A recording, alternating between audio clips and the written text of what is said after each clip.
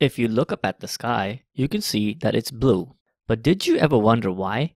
Today's video explains why the sky is blue.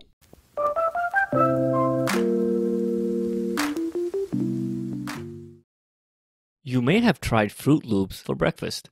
You may arrange them to these three colors. But what if I gave you a plate with just blue Froot Loops? First thing you'll ask me is where did the green and the red ones go? You see, similarly, when you see a blue sky, instead of asking why it's blue, you may ask where did the other colors go? Because the fact is, although the sun appears to be yellow, it's actually not. In reality, its color is pure white. But what color is white? Let me explain white using the primary colors of light, which are red, green, and blue. Primary colors means that adjusting the individual brightness of these three colors and then adding them up, you're able to produce every other color possible. For example, if you add only red and green and don't use blue at all, you end up with the color yellow. Talking about white, if you add R, G, and B, you'll end up with the color white. Now, as I told you the color of the sun is white, all three of these colors must be coming in from the sun. But when you look at the sky and see only blue, colors red and green must have gone somewhere else. Here's Earth's sea level, and there's an imaginary line called the Kálmán line. It's 62 miles high, and everything in between is defined as atmosphere. The sky's color blue starts even higher at 100 miles. As white sunlight approaches the Earth, we can break it down to RGB.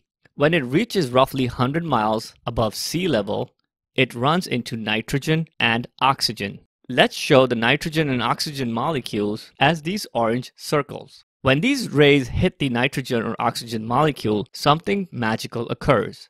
You've seen a rainbow, right? It ends in the color violet. Right after that though comes ultraviolet or UV shown in black, which the human eye cannot see. So it comes along in sunlight with RGB, now consider two different cases.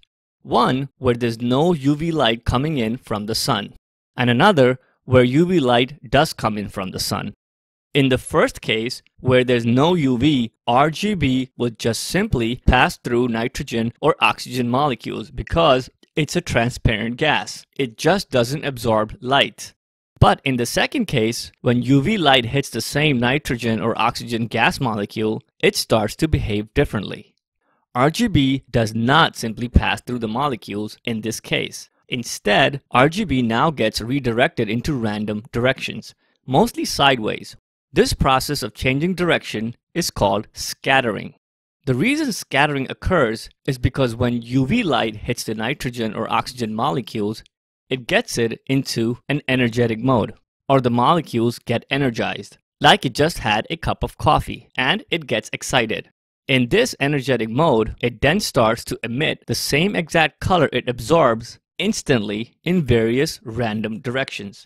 If there was no UV, there would be no scattering and RGB light rays from the sun would go straight through the nitrogen and oxygen molecules.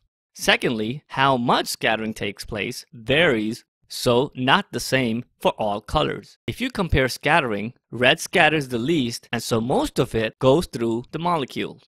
Green scatters a little more than red, but still a lot of it still goes straight through. But blue scatters the most, and so a lot less of it goes through the molecule.